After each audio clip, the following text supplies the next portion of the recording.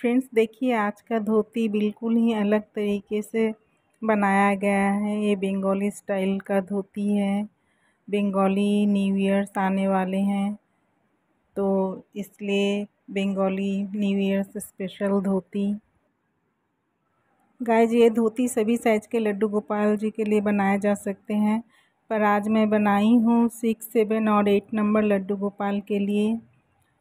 और मैं अपने लड्डू गोपाल को पहनाऊँगी तो वो वीडियो भी मैं आप लोगों के साथ में शेयर करूँगी।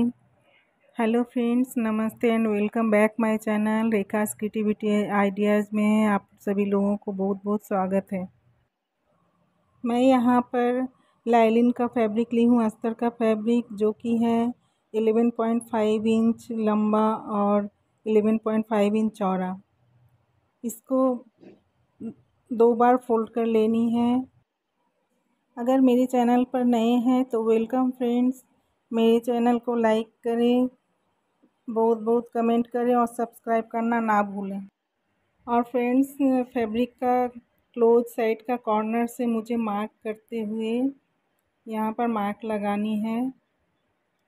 मुझे, मैं ले रही हूँ यहाँ पर फाइव पॉइंट फाइव इंच। और इस तरह से मैं मार्क करते हुए पूरे राउंड शेप मैं डालूँगी। फ्रेंड्स ये धोती आप सभी साइज़ के लड्डू गोपाल जी के लिए बना सकते हैं। फ्रेंड्स तो बहुत ही बनाना इसे आसान है।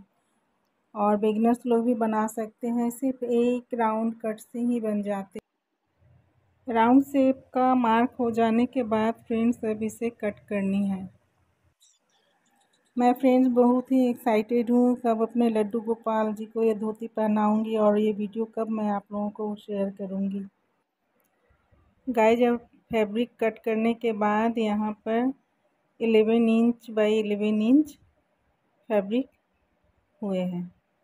अब इसके बीच से बिल्कुल बराबर से मुझे कट कर लेनी है। अब इन दोनों पीस को मुझे फोल्ड कर लेनी है। गाइज़ आप लोग भी ये धोती अपने लड्डू गोपाल के लिए ज़रूर ट्राई करें। अब मैं कॉटन का मैरून कलर का फैब्रिक ले रही हूँ, जिसकी चौड़ाई है वन इंच और लंबाई है एलेवन पॉइंट फाइव इंच इसका दो पीस मैं ले रही हूँ।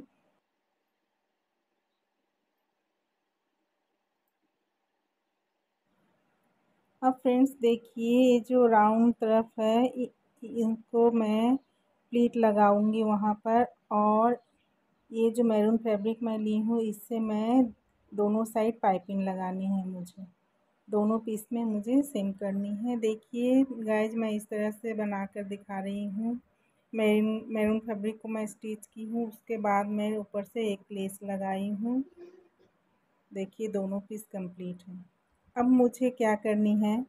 धोती का जो बिल्कुल सेंटर है, यहाँ पर मुझे एक प्लीट डालनी है और इस साइड से मुझे एक प्लीट डालनी है और एक इस साइड से मुझे एक प्लीट डालनी है।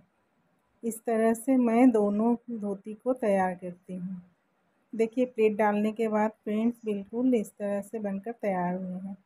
दोनों बिल्कुल बराबर हैं और ये प्लीट डालने के बाद four point five inch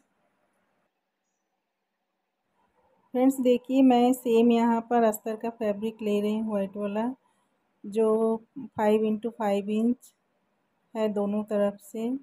अब इसे मुझे बनानी है। बचपन में जो हम लोग पेपर से पंखे बनाते थे, बिल्कुल उस तरह से छोटा छोटा प्लेट बनाते हुए पंखे की तरह बनानी है।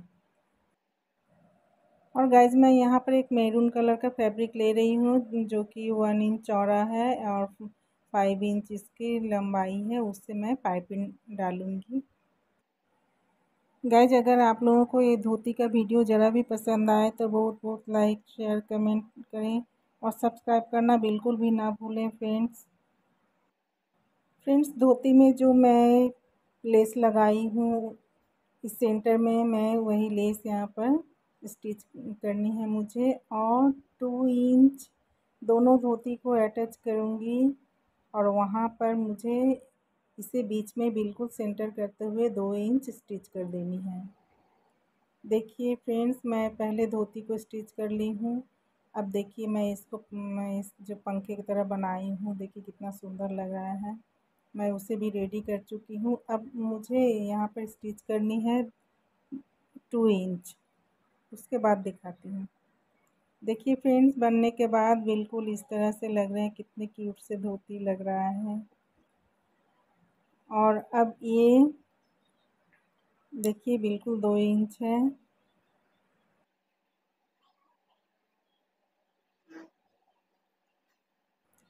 गाइज़ मैं वही मेरून सेम फैब्रिक ले रही हूँ कॉटन का, जो वन इंच चौड़ा है और इसकी लंबाई है एटीन इंच